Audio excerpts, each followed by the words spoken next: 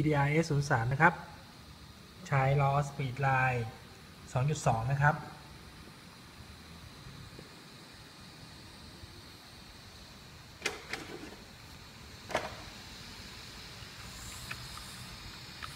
สปีดเปลี่ยนเป็นของ Flash Booster Pro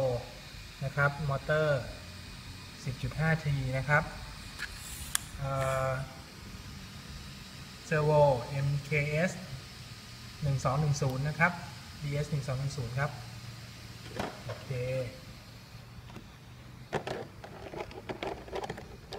วิ่งดู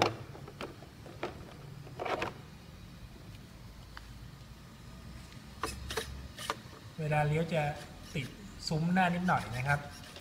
ต้องทำการปาดทิ้งนิดหนึ่งแค่จะให้ไม่ติดข้างหลังโอเคนะครับ ข้างหน้าจะติดซุ้ม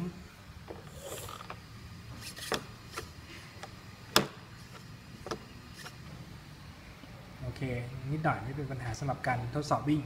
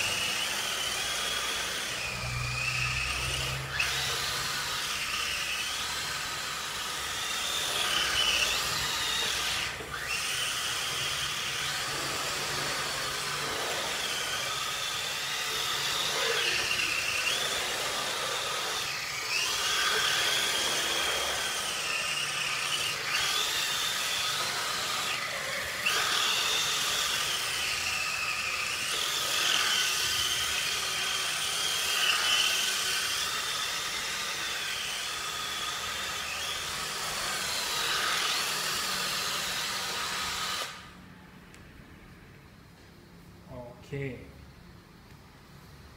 ครับก็เป็นการจบการทดสอบนะครับรถเซตมาโอเคแล้วนะครับ สปริงข้างหน้าเดิมๆข้างหลังก็เดิมๆนะครับทำลายไฮหลัง สูงกว่าข้างหน้านะครับหันสปริงลงมาประมาณสักครึ่งเซนติเมตรข้างหน้านะครับ